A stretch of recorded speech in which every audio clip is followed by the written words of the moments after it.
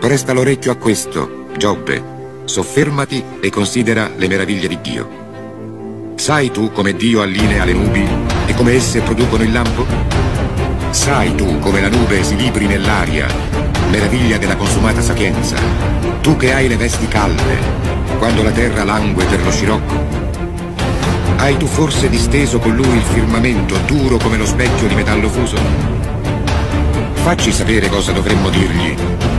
Noi non abbiamo parola a causa delle tenebre. Si dovrà informarlo di ciò che dico? C'è qualcuno che desidera essere annientato? Ed ecco, non si vede più la luce, è oscurata dalle nubi, ma tira il vento e le spazza via. Dal settentrione giungono splendori dorati, Dio si circonda di tremenda maestà.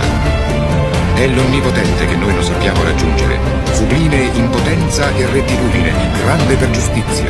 Egli non opprime. Per questo gli uomini lo temono. Ma egli non tiene conto di coloro che si credono sapienti. Allora il Signore rispose a Giobbe di mezzo al turbine così.